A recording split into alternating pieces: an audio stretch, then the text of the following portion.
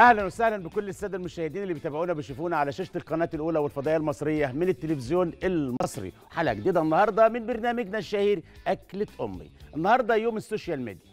على ال social media أسئلة كتير في المطبخ بنتابع الصفحة الرسمية للقناة الأولى وصفحة أكلة أمي. الكبسة بتتعمل إزاي؟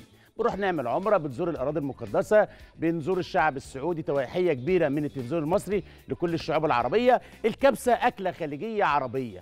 تعالوا شوفوا نعملها النهارده مع بعض إزاي بتفاصيل المغازي والتركاية اللي تخليكي تاكلي الكبسة كأنك بتاكليها في الخليج بالطعم الخليجي. توابل الكبسة هي عنوان الكبسة. إيه الفزورة دي يا عم الشيف؟ عندنا اللومي عندنا الورق اللورا عندنا الحبهان اللي هو الهيل عندنا كمان القرفة اللي هي الدرسين وعندنا القرنفل اللي هو المسمار. دي المسميات بتاعته عند العطار عندنا في وسط البلد وعند العطار في الخليج. معانا النهارده عدل الكبسة سلطة مشهورة جدا اسمها سلطة الدقوس. برضو بنتسال على ال social media. إيه هي؟ هي سلطة الطماطم بالكزبرة عصير ليمون توم. البعض يحط لها نعناع يابس أو نعناع أخضر حسب الرغبة. هنشوف نعملها مع بعض إزاي بطريقة مصرية لطيفة وجميلة وفيك تتحكمي فيها spicy أو مش spicy بالفلفل الحار. الحلو بتاعنا النهارده أنا بعشقه. مهلبية. المهلبيه لها تفاصيل كتيرة قوي على فكرة. تقدري تعمليها بالحبان تعمليها بالقرفة تعمليها بجوز الهند تعمليها كمان بالتمر زي ما انت عايزة. هنعمل المهلبية النهارده بالقرفة بطريقة لطيفة وجميلة بما ان إحنا محتاجين لحلويات في الشتاء والقرفة كلنا عارفين ان هي بتدي طاقة وبتساعد على الدفء وخاصة في أيام الشتاء. تفاصيل كتيرة النهارده في الحلقة بتاعت النهارده بناء على رغبة حضراتكم من خلال ال social media ومتابعة ال social media. اوعى تروحوا بعيد تابعوني بعد الفاصل.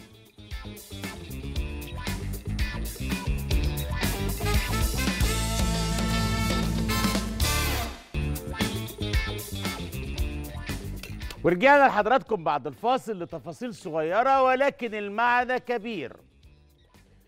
هنعمل إزاي شوية مهلبية بالقرفة بطريقة بسيطة وسهلة وتقدري تهدي بيها حبايبك والجار والحبايب والنبي وصى على سبع جار. إيه المشكلة لما أخبط على جاري بطبق مهلبية؟ مش هيرجع فاضي. يا يرجع يا إما في بصارة يا إما في مسقعة. وده عادات مصرية قديمة من زمان. مقادير المهلبية على الشاشة. شوية نشا تقريبا نص كوب. معانا 3 كوب من الحليب وحسب عدد أفراد الأسرة الكمية برضو. السكر ده اختياري. أنا هحط نص كوب من السكر ما بحبش السكر كتير فيها. عايزه تحط كوباية أهلا وسهلا. معانا قرفة ناعمة معانا فانيليا ومعانا جوز الهند برضو اختياري. حلو الكلام. اختياري ده كان سؤال يجي لنا زمان في الثانوية العامة. كان طبعا الواحد ما بيصدقش ويجاوب ما بيجاوبش عليه ما بيصدق. تعالوا مع بعض نحط الحليب على النار. آه.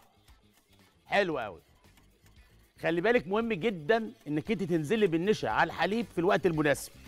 عشان البعض مننا بيعمل المهلبية يا إما بعد ما بتستوي تلاقيها كلكعت منك يا إما بعد ما تغرفيها وتحطها في التلاجة تبقى مصيصة مش باينة مهلبية ولا زبادي الحاجات دي كلها بنشوفها. فلغاية دلوقتي المهلبية يا شيف مغازى على ال social media ما بتظبطش معانا. نعمل إيه؟ إيه رايك أوريك صورة حلوة مخرجنا الجميل. نكمل موضوع المهلبية. المهلبيه لما تيجي تشتغلي فيها طبعا لازم تكون الأواني اللي انت بتشتغلي فيها ما فيهاش لا بصل ولا توم ومأمنة الموضوع عشان ما يتعبش وأجيب حليب وأجيب نشا وأجيب فانيليا وفي الآخر ألاقي طعم المهلبية توم أو بصل. بيجي منين؟ يا إما البلانشة يا إما إيدك مقطعة بيها طماطم سوري آه، توم أو بصل ومكان تقطيع البصل والتوم باين في إيدك. الحاجات دي كلها لازم تاخد- تاخدي بالك وأنت بتعملي المهلبية. أول حاجة هنحط شوية حليب هنا. عشان ندوب النشا فيه. ما ينفعش تدوبي النشا في الحليب وهو بيغلي على النار. خلي بالك الحليب هنا بيغلي جاهز أهو. نحط إيه في الحليب وهو بيغلي؟ نحط السكر. حلو قوي نحط الفانيليا. حلو قوي أنا من عشاق جوز الهند اللي هي دايبة جوه الحليب. مش اللي مزين بيها لا اللي هي دايبة جوه الحليب. آه شوية كده صغيرين. طعم هنا بيفرق خلي بالك. دي تركاية. أه. بيسالوا على ال social media المهلبيه بتنشف مننا. نيجي نطلعها من التلاجة تاني يوم الصبح نلاقيها مشققة وناشفة نضرب فيها المعلقة مش عايزة تنضرب.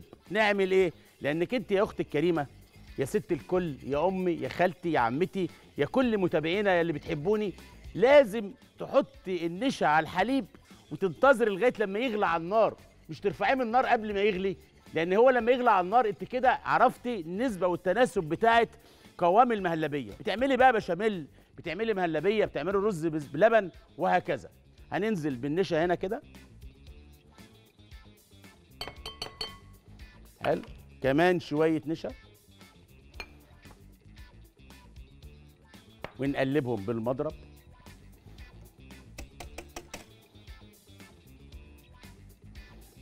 لا لا لا لا لا ما تخترعش. انت اخراجيا شاطر. واللي ممكن نحط دقيق بدل النشا في المهلبية. يا راجل يا راجل. ده كلام. ما بقتش مهلبية بقى بشاميل. إيه الفرق بين البشاميل والمهلبية؟ الحليب في المهلبية ياخد نشا والمحل. والحليب في في البشاميل ياخد دقيق. آه خلي بالك. حلو. ولكن سبحان الله ينفع إن إحنا نعمل وايت صوص بالنشا؟ آه ينفع. مع المغازي ينفع. إيه هي بقى الافتكاسة هنا؟ مكعب من الزبدة أو معلقة سمنة بلدي إضافة للنشا والحليب مع قليل من الكريمة اللباني حولناه ل white sauce مع مكرونة ماشي مع سلطة مع سوري مع مشروم ماشي حسب ما أنت حابه هناخد الحليب ده كده بالنشا. شوفي بقى الشطارة هنا بقى هنا الخبرة الطهوية هنا بقى بتقول كلامها. بص بقى على الحلاوة بص على الحلاوة. صلي على الحبيب. آه وقلب. واحدة واحدة. آه. لقيت المضرب تقل معايا؟ هسه. آه. آه. آه. آه لس لس لس لس لس بس خلاص. ونقلب. طعم الفانيليا الله لو حد عنده برد هتروح البرد. آه آه. ممكن تعملي حاجة حلوة تخليك أحسن من المغازي بقى. أقول لك بقى. خدي مني بقى الحتة اللي جاية دي بقى. جود يا شيف. الليمون الأخضر الحلو الجميل ده. يا ويلي هو ده. ده. هتاخديها وتاخديها بشرة ناعمة صغيرة كده في قلب المهلبية. راحت في سكة تانية وفي حتة تانية خالص.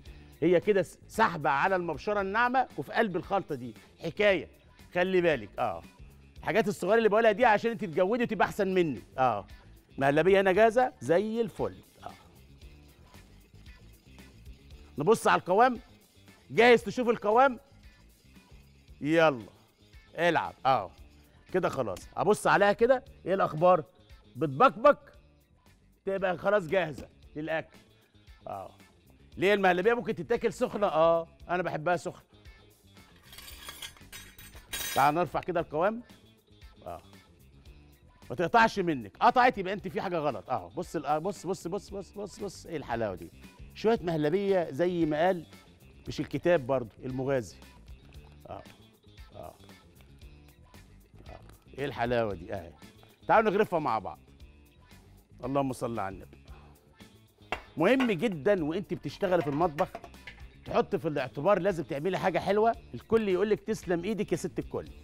عندنا القرفة عندنا جوز الهند وتعالى خليكي تغرفي شوية مهلبية. الجيران والحبايب وحماتك لازم يقولوا لك تسلم إيدك يا مرات ابني. آه.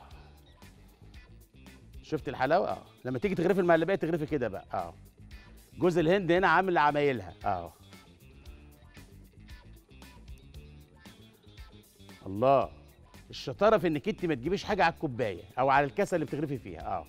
تاني طريقة الغرف. بص مخرجنا أساتذة المصورين حبايبي فرسان التلفزيون المصري. آه. شفت المغرفة أهي. التركايه دي مهمة جدا. آه. تاني آه. بصي آه. بص بعمل إيه؟ آه. خلاص بقطع الخيط اللي بينزل من المغرفة بتاعتك. آه. تاني آه. حلو. كمان مرة؟ آه. تقدري تعملي حاجة حلوة على فكرة. الأطفال بيحبوا الألوان. هتجيبي جيلي. جيلي فراولة جيلي مانجا آه جيلي برتقال زي ما انت عايزة. وتجهزيه عندك. وتجهزي المهلبية. وتعملها طبقات. هنعملها لكم إن شاء الله في حلقة من الحلقات. ودي بهديها للأطفال الحلوين اللي بيحبوني. اللي بيمشوا في الشارع ويشوفوني. عمو الشيف عمو الشيف. آه. حلو. تمام زي الفل. أزينها بإيه يا عم الشيف؟ حاضر اعمل حسابك في في كاسه عينيا. تدفع كام؟ ده انت لو بتشتريها من بره دي حكاية خلي بالك. مش بالطعم ده ولا بالشكل ده. هنزينها إزاي يا عم الشيف كده اهو. يا دلعك.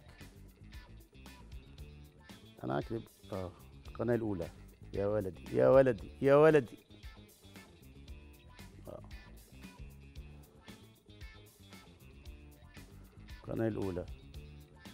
إيه الحلاوة دي يا عم؟ الشيف جوز الهند جوز الهند. آه. جاية معاك حلوة دي؟ آه. إيه الحلاوة دي؟